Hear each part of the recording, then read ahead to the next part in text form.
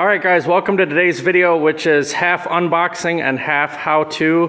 This is gonna be how to bag your car for five to $600. This air suspension kit is going on my 1987 Mercedes-Benz 300 SDL. It's an extended wheelbase chassis with a six cylinder turbo diesel.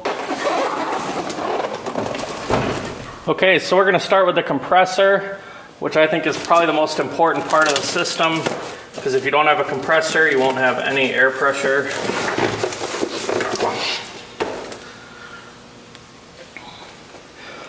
So this compressor was $150, and yes, there are cheaper compressors on eBay, but they won't support a very large air tank.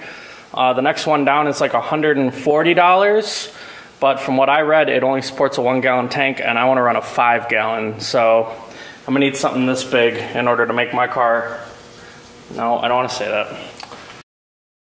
For 150, this compressor also includes a very nice relay. Looks to be weatherproof. You can see it's all sealed up. And also a pressure switch. This particular pressure switch turns on at anything under 150 psi, and then it turns off at 180. It also comes with this little filter for the air inlet so that uh, it doesn't suck up too much moisture or any dirt or anything like that that'll ruin your compressor. That just screws onto the front. Like that.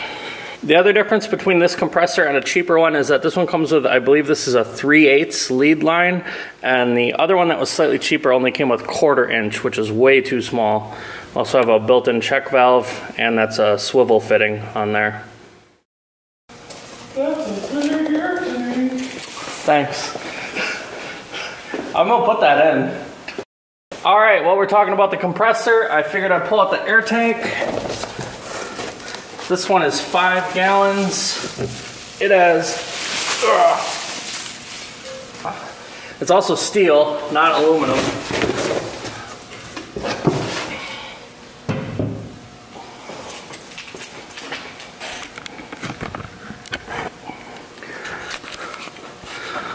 This one has four ports, two on each end, and then a quarter inch drain port on the bottom. And that guy was $70, and I believe that was the cheapest five gallon air tank I could buy. Got a little bit of stuff stuck on it, and a nice big handprint. There we go. Not much to say about that other than hopefully it looks good in the trunk and uh, hopefully it doesn't leak. Okay, now for the bags, which admittedly is where I definitely cheaped out. I bought the cheapest bags I could. These are four 2,500 pound, also known as six inch bags. But don't be fooled, six inches is more or less talking about the width of the bag.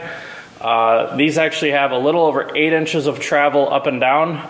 I also went with six inch bags because the suspension on my car is actually pretty like tightly squeezed together. So I wasn't sure a bigger bag would actually fit, especially in the front. Front Mercedes suspension is kind of weird.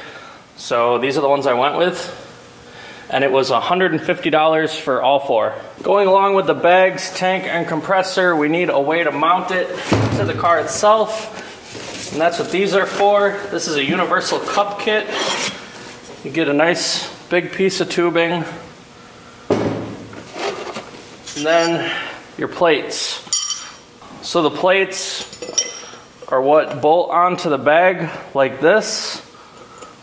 Well, I don't know if that was in, in frame.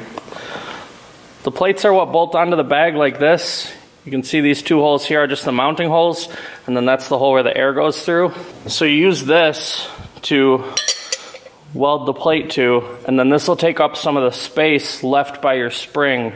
So based on how long you make this is how low your car will be when it's all the way aired out and how high it'll be when it's all the way aired up.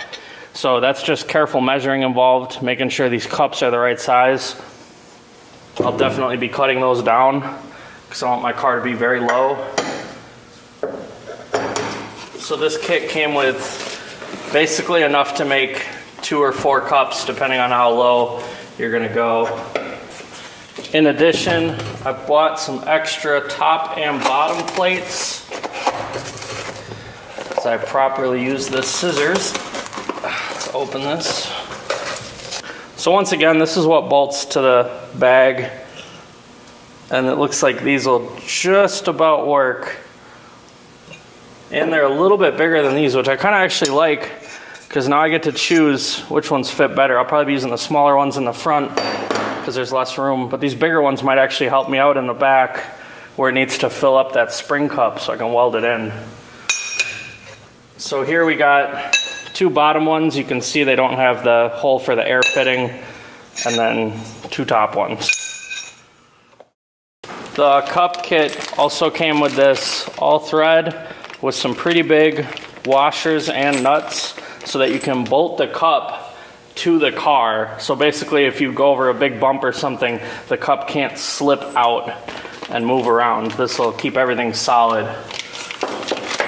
Uh, I don't know if I'll be needing that. I might just be like welding the cup up to the car. But if I can make a bolt in and out, that would be cool. Almost forgot to name the price on the cup kit. The two posts and these four smaller plates and the bolts were $65 and then the extra bottom and top plates was another 35 Okay, now we have this box which is all of our lines and fittings. I'll start with the line. This is quarter inch outer diameter line. I got 50 feet of it, which I hope is enough for the whole car. And that was $17 for 50 feet. I'd call that a pretty good deal.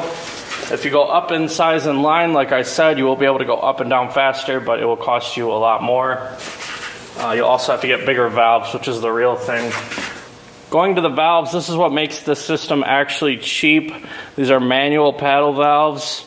Uh, I only got two because I just want the front half and the back half of the car to be controllable. I'm not trying to do all four corners. You could though if you bought two more of these valves. But I'm keeping it simple. It was $30 for both of these.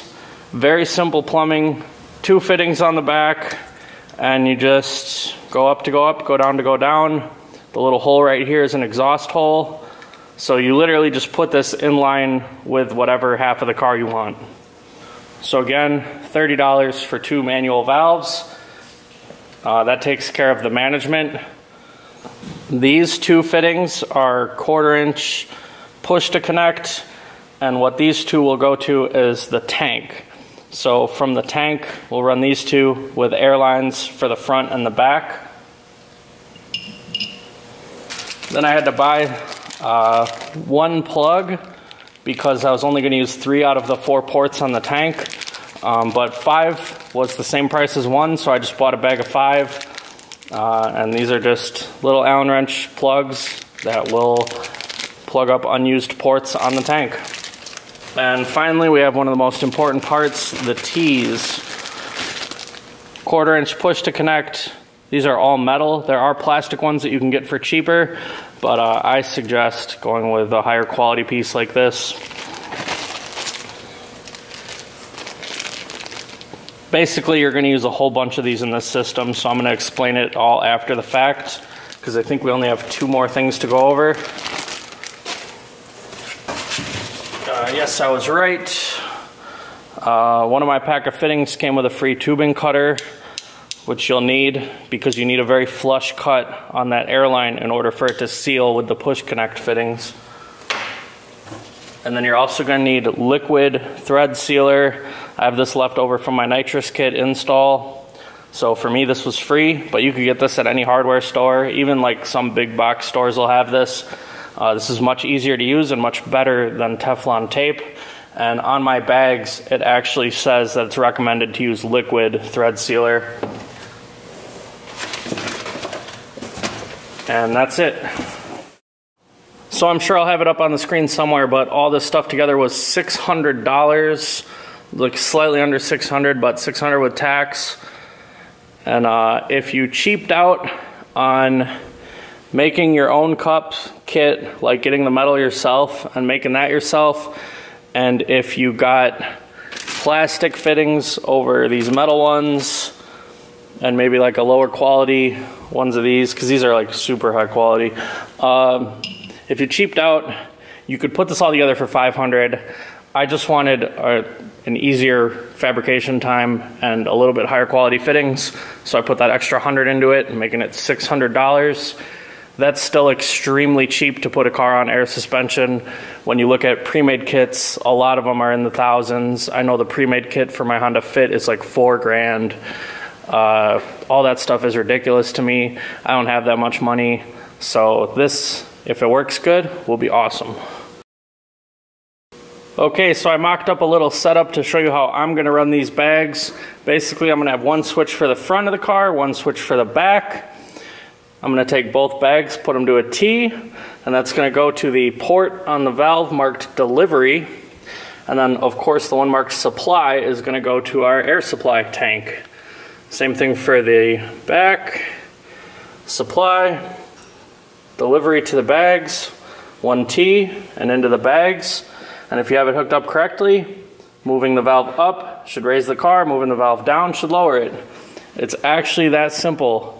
This is about as simple as a bag setup as you could ever make. On the other side of the tank, compressor runs into there. Got our pressure switch, which will control our relay to turn the compressor on and off. Uh, if you don't know how to wire up a relay, I've basically gone over it in my electric car wiring video. If not, um, there's plenty of videos explaining how relays work. They're basically just safer switches. And that's realistically everything. Uh, the hard parts of doing bags are going to be making the actual mounts for the bags to bolt into the car. And then, of course, getting under the car and running all these lines correctly, making sure nothing's going to rub. You have to absolutely make sure the bags don't rub on anything. So it's a lot of trial and error to get it set up right. But this is a look at how simple doing it with a manual paddle valve actually is. I should also note that you can run gauges to determine what pressure you want to run your bags at and to make sure you don't uh, overinflate them, I guess. But because I'm trying to do this on the cheap, I just skipped that and I'm gonna run them at wherever it feels like it rides good. Okay guys, so if you like this video, please subscribe because I will be installing this system on my 1987 300 SDL. It's gonna look sick. Hopefully it drags the car on the ground, which is what I want. And uh, if you want to buy any of these pieces or piece together your own kit, uh, most of these parts will be in the description below with a link to eBay or Amazon, where, wherever I can find it cheaper. So I'll put that info in the description for you guys. Once again, thanks for watching, and that's going to be it.